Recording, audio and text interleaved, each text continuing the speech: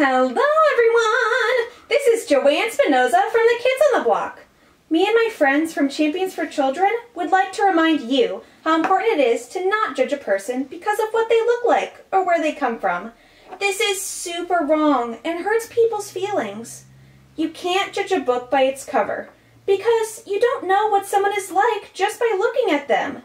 You have to know the person as an individual. We all want to be accepted and respected for who we are on the inside.